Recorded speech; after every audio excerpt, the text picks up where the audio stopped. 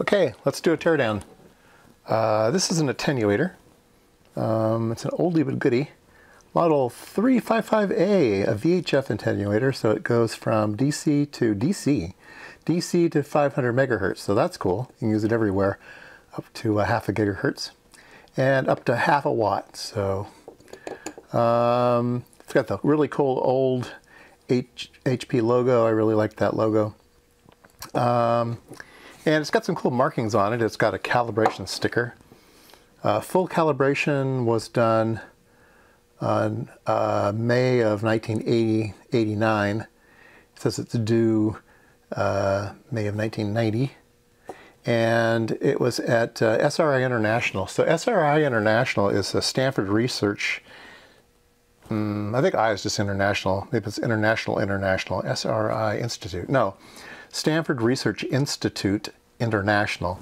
So it's a nonprofit company that's a, a, a think tank for the U.S. military. So they get grants from the U.S. military and invent all kinds of crazy things for the military. Um, they're up in uh, Menlo Park and uh, uh, just north of Palo Alto. So it hasn't gone far from home. And the other cool thing is uh, stenciled on the back here it says Ant Lab. So maybe they were developing Ant-Man. No, probably an antenna lab.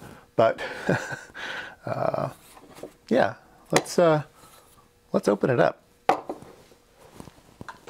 Find a screwdriver of the appropriate size. Oops. These look like 440 screws. I think most of my career, not career, but most of my hobby, hobby career has been uh, using 440 screws. They seem to be my favorite size screw. Um, dr I've drilled and tapped tons and tons and tons of 440 holes. Um, and I know right away you use a number 43, 43 drill uh, before you tap. And I have bought multiple 43s, to, so I always have a nice sharp one on hand. All right, so let's see if we can't get this top off. Uh, okay, let's try it out. That's good. Oh, there we go. All right, so we can see part of the mechanism. So this one is manual. Um, so it has a dial and it says decibels. So these are dB. And it's 1 through 12. This one goes to 12. Excellent. Um, and so it's every dB is a step, right? So no dBs, 1 dB down, 2 dB down, 3 dB down, all the way up to 12 dB of attenuation. And the way that it does that is with this cool cam. So as we rotate the uh, knob here, these different cams have different things and it uh, toggles in and out uh, one, well, let's see here. I think this one's just a clicker. So it's three. So it's basically, there's three attenuators and it's swapping them in and out in some type of pattern. Um, you can kind of imagine this as a three-bit binary. So uh, it would be, hmm, yeah, so 3-bit binary, that would give you only 8. Hmm. But there's 12. So how do they do that? Oh, wait a minute. But this one over here too. Ah, there's this one. There we go. This one, uh, the cam is on one half of the uh, of the shaft. So this is like uh, the lowest significant bit, or the least most significant bit. I guess it's most significant bit. So one, two, three, four. Yeah, so 16 positions, right? Okay, good. Um, so I guess we have to open up the bottom of it to see the goodness. Um, this is just the cam. And the bottom has, oh my goodness, it has lots of, lots and lots of uh, screws. So let me, let me change screwdrivers. All right. So I have a, uh, I have an electronic screwdriver, so let me, let me loosen them up so I can use it. Little electric screwdrivers are good, but they don't have much torque. I know I'm right in the way of the camera. I'll probably speed this part of the video up.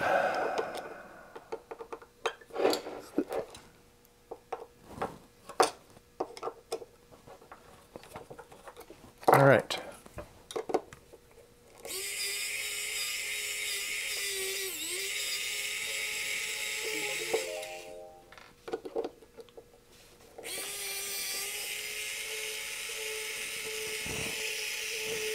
I don't know if you have one of these. They're uh, little like double A batteries. it doesn't go very fast, but it, it does save you from getting carpal tunnel.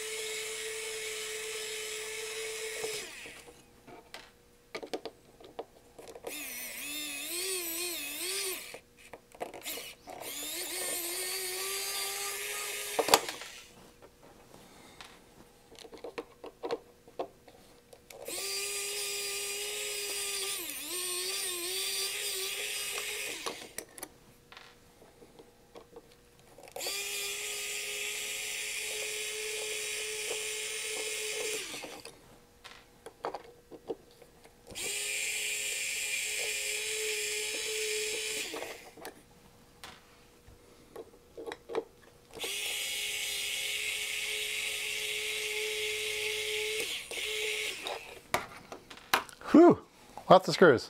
Okay, let's see if we can take the bottom off. Ah, there we go. Oh, cool. How's that? Let's zoom in on that.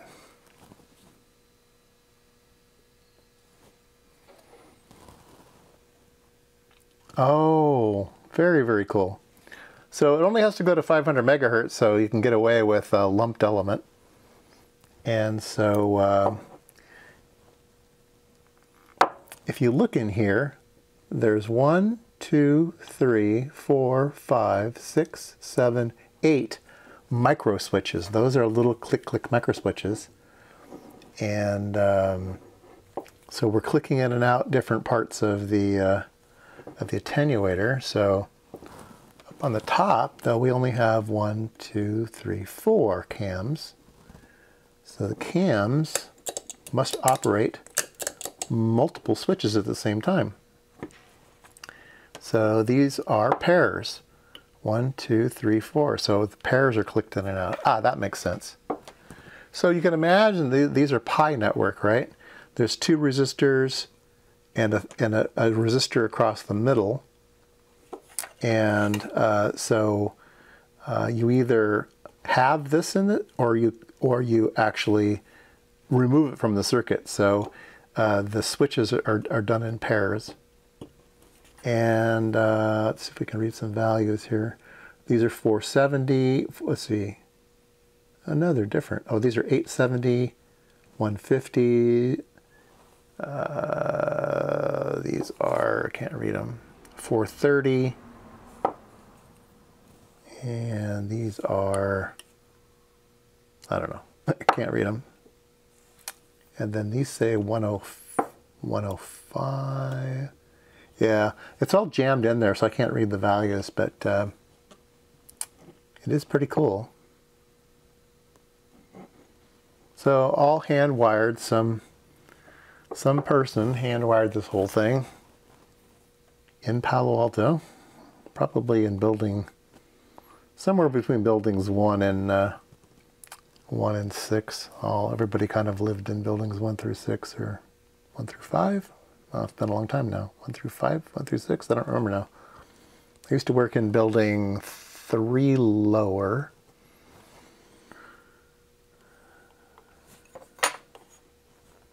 I like it. So I think you can see how that works. We have uh, this cam looks like it's uh, only on 180 degrees out. And this one looks like it's on every 90 degrees. And then this one looks like it's on every, oh, a really weird number. Yeah, I guess both of these are kind of a little bit weird. And then this one's on half of the time. Yeah, very, very cool. I like it. You can still pick these up. They're still, uh, you still see them around. They still work great. This one needs probably needs a little bit of polish on the air, a little bit of uh, silver cleaner or something on this uh, BNC. It's a, this one's a little bit dirty. This one looks new.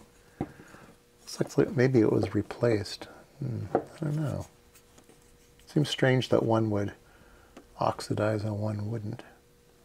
Well, they both look vintage. Maybe this one was just exposed to something in their setup.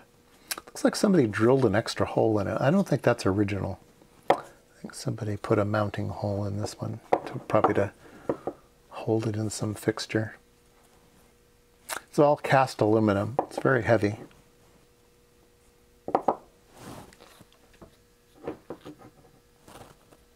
Oh well, hope you enjoyed that.